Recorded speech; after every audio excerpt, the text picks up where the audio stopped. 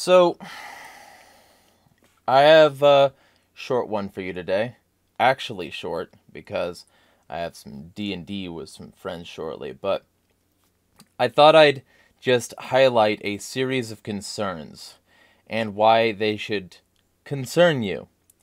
Um, and I wanted to start with this premise that when the state um, points something at another country, they're pointing it at you.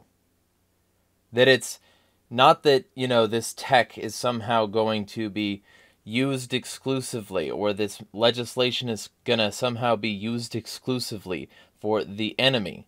It will always be used against you.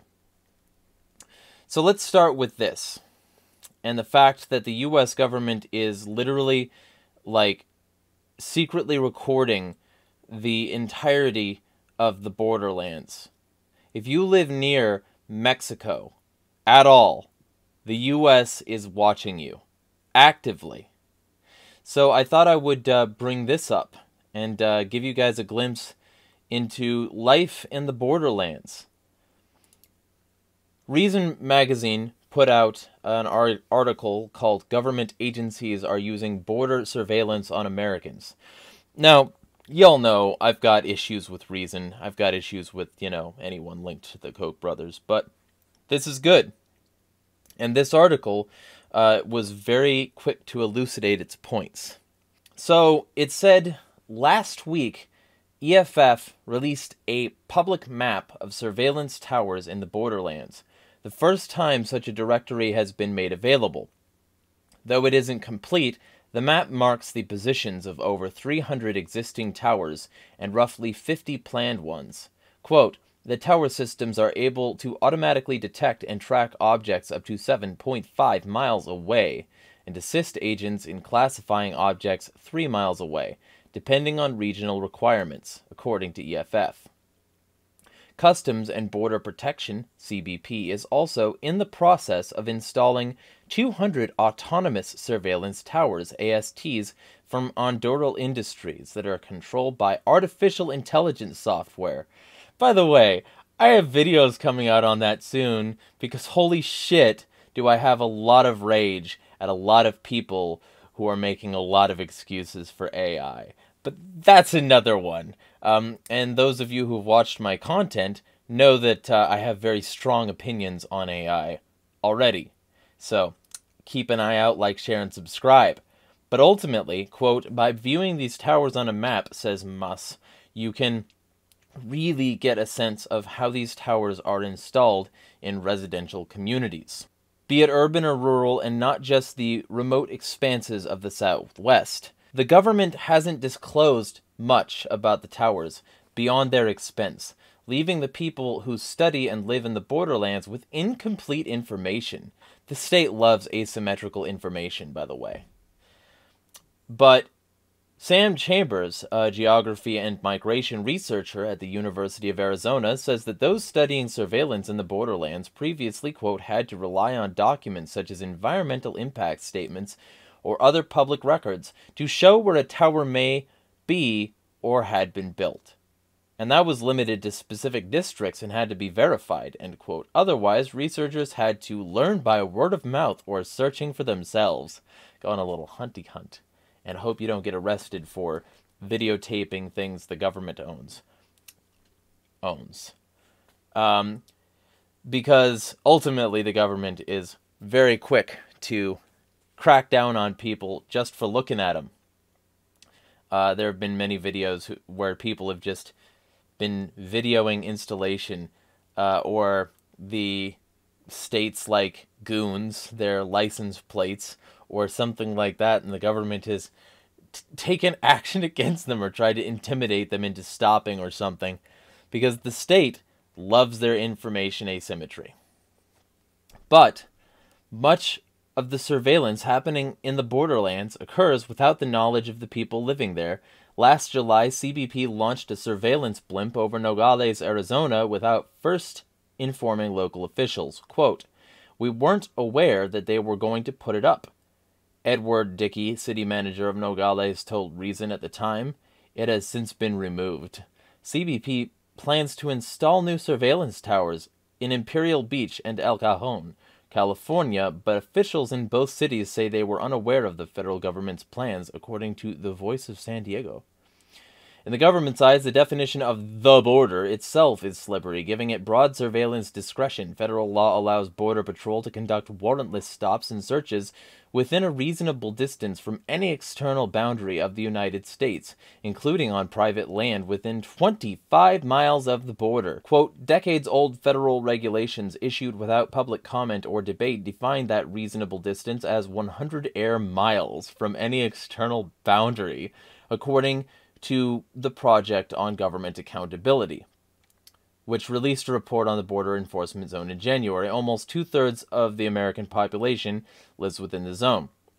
What's more, POGO found little evidence that checkpoints in enforcement zone are ensnaring undocumented immigrants. Quote, checkpoints accounted for only 2% of Border Patrol arrests between fiscal years 2016 and 20. It reported the existence of checkpoints can also lead to migrants dying in the countryside in attempts to avoid them.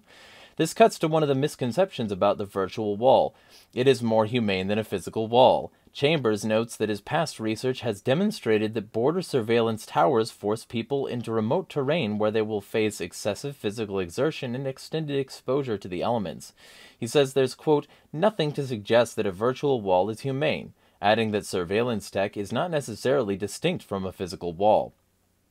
The two work in tandem to isolate human beings and multiply the bodily and mental harm of border crossing, says Chambers. What differentiates them most is that towers have been more readily ignored by those not impacted, Border security and immigration enforcement are affecting more and more people, though. At airports, customs officials are uploading data from travelers' electronic devices to a massive database that CBP agents can file through without a warrant. In 2020, as people protested the killing of George Floyd across the country, the DHS turned border technology on them, surveilling demonstrators in over 15 cities in New York City and Philadelphia. Immigration and Customs Enforcement has access to driver's license data. Smart border enforcement has come at a massive cost, something that implicates every American taxpayer. The Secure Border Initiative Network, a mid 2000s virtual fence project, came in at $1 billion by the time it was scrapped. Scrapped. 19 million for each mile it covered. In fiscal year 2022, Congress allocated $425 million for border surveillance. Between 1993 and 2019, Border Patrol's budget jumped from 363 million to 4.9 billion.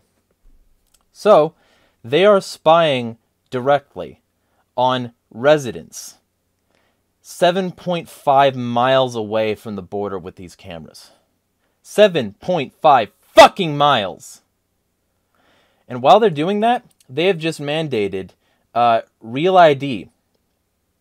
Because Real ID was already supposed to be mandated a long time ago, but they needed to refine it and make sure it was extra tyrannical. Basically, what that means is that Ron Paul's old slogan, where but people who want big fences and guns, sure, we could secure the borders. A barbed wire fence with machine guns, that would do the trick. I don't believe that's what America is all about. I just really don't. We can enforce our law. If we had a healthy economy, this wouldn't be such a bad deal. People are worrying about jobs. But every time you think about this toughness on the border and ID cards and real IDs, think that it's a, it's a penalty against the American people, too. I think this fence business is designed and may well be used against us and keep us in. In economic turmoil, the people want to leave with their capital, and there's capital controls and there's people control. So every time you think of a fence keeping all those bad people out, think about those fences maybe being used against us, keeping us in. Is coming to fruition. Um, and Real ID will now be enforced May 7th, 2025. And that means that Federal agencies, including DHS and TSA, may only accept state issued driver's licenses and ID cards as identification for purposes of accessing federal facilities, including TSA airport security checkpoints, if the license or card was issued by a Real ID compliant state in accordance with the Real ID security standards, meaning the license or card must include the Real ID compliant star marking, enhanced driver's license issued by Washington, Michigan, Minnesota, New York, and Vermont are considered acceptable alternatives to Real ID compliant cards and will also be accepted for official Real ID purposes. Most EDLs do not contain the star marking, and this is acceptable. So basically, if you want to get on a plane, you now have to have a Real ID, and it's much more intrusive. And I, I thought I would start with those things, um, and just hammer down to the heart of what a, what I'm about to talk about, because the digital iron curtain, how the Restrict Act threatens to devastate privacy and crush free speech online. This is going way past banning TikTok. This is another Free Thought Project article. Uh, feel free to go sub to them. Matt Agorist uh, says In an era where the world has become more Orwellian than Orwell himself could have ever imagined, it should come as no surprise that the U.S. government is once again attempting to expand its stranglehold on individual liberty. Enter Senate Bill 686, also known as the Restricting the Emergence of Security Threats That Risk Information and Communications Technology Act. Restrict Act. You gotta love an acronym that includes one of the words as the acronym itself. Far from being the limited TikTok ban it purports to be, the Restrict Act represents an unprecedented expansion of government power and surveillance, reaching into nearly every aspect of our digital lives. Make no mistake, this piece of legislation is the Patriot Act on steroids. The Restrict Act would seemingly grant the U.S. government total control over all devices connected to the internet, including cars, ring cameras, refrigerators, Alexa devices, and your phone. It goes beyond the pale, with the end goal being nothing short of a complete invasion of your privacy. Under the guise of national security, the Restrict Act targets not only TikTok but all hardware, software, and mobile apps used by more than 1 million people. This means that anything from your Google Home device to your smartphone could be subject to government monitoring and control. Should you dare to defy the Restrict Act, you'll face devastating consequences. Violators can be slapped with a 20 year prison sentence, civil forfeiture, and denied freedom of information requests. All this, mind you, for simply trying to maintain some semblance of privacy in your own fucking home. The conspiratorial report has a running list of them, and uh, it's a doozy. Information and communications technology, products, or services used by a party to a covered transaction in a sector designated as critical infrastructure in blah blah blah.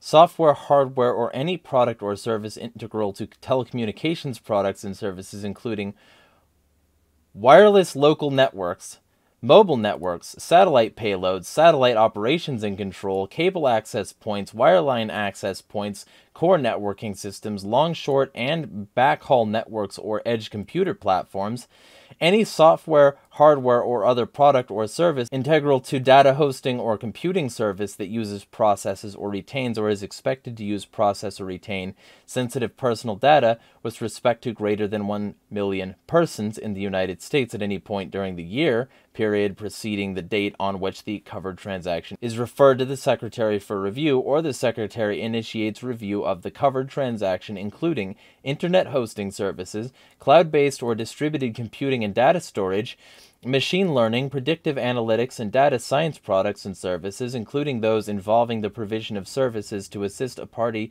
to utilize, manage, or maintain open source software, managed services, and content delivery services Internet or network enabled sensors, webcams, endpoint surveillance, or monitoring devices, modems, and home networking devices if greater than 1 million units have been sold to persons in the U.S. at any point during the year period preceding the date on which the covered transaction is referred to the Secretary for review or the Secretary initiates review of the covered transaction, and unmanned vehicles, including drones and other aerial systems, autonomous or semi autonomous vehicles or any other product or service integral to the provision, maintenance, or management of such products or services, and software designed or used primarily for connecting with and communicating via the internet that is in use by greater than 1 million persons in the U.S. at any point during the year period preceding the date on which the covered transaction is referred to the Secretary for review, or the Secretary initiates review of the covered transaction, including desktop apps, mobile apps, gaming apps, payment apps, web based apps, or information and communications technology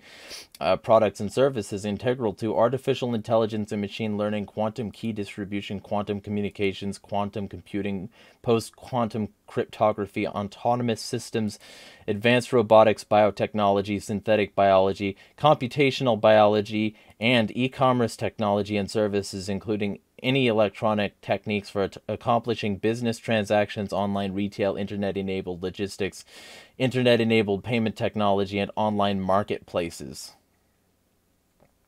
So basically, fucking everything. The insidious nature of the Restrict Act does not stop there. As reported by Under the Desk News, the bill's proponents are also seeking to undermine Section 230 and limit free speech. The implications are clear. This legislation is not about protecting Americans, but rather about stripping away our rights and liberties.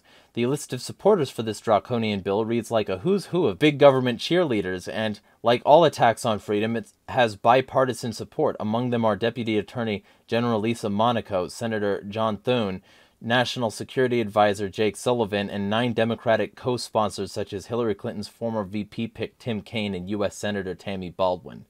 So, basically, they're using TikTok, um, maybe spying on behalf of the Chinese government, as an excuse to spy on everything you do. Sound familiar? Well, it should sound familiar because that's exactly what they did with the war on terror in the Middle East. And um, just to be clear, the new thing that they're supporting, like they supported the um, the Mujahideen and Operation Cyclone and all this fucking uh, support they've given them for years and years now. That thing they're doing, they're now doing it with Ukrainian Nazis. Um, they're supporting those people, and they have since the 60s. And everything those Ukrainian Nazis are doing, like banning press, closing churches, um, you know, jailing dissidents, that's all U.S. government approved activity, and they will do it to you too. Which is why uh, it's real fucking suspicious. It's kind of sus only verified accounts who who like subscribe to fucking Musk's know your customer Twitter blue thing will be able to vote in Twitter polls um, and appear in for you. They're just dwindling the amount that you can do without telling everybody your government ID information. And um, Meta Verified is a thing now, which means that they might be slowly tightening that news too, saying unless you give us your government ID, you can't use Meta. Maybe because all of these services are controlled by big government people who would want to be able to link your ID, your ID that is now mandatory for base existence in the US and even leaving the joint, um, your ID, which will be connected to CBDC coming up here, just like I've been saying, your ID, which will be connected to your facial recognition ID, that it will be monitored by AI, your ID that I have been warning everybody about basically being the mark of the beast, your ID will be required for your social media. And your social media will be monitored by the state. And the state will have an unelected board of bureaucrats deciding whether or not you can continue to use your services or whether or not you are going to spend 20 years in jail for saying something they didn't like. And if you ask me, this is the most evil shit that they have pulled because a significant amount of people are going to support it just because fuck China, especially with all the rabble that's being roused over China supporting Russia. Because if you say Russia, you can get away with anything. So, I thought I would let you know that everything they point at another country, they will also point at you. And you should be concerned and you should be angry every single time this happens instead of letting their xenophobic, jingoistic, bigoted fucking propaganda get to you and get you to co sign it. Plain and simple. All the more reason to smash the fucking state.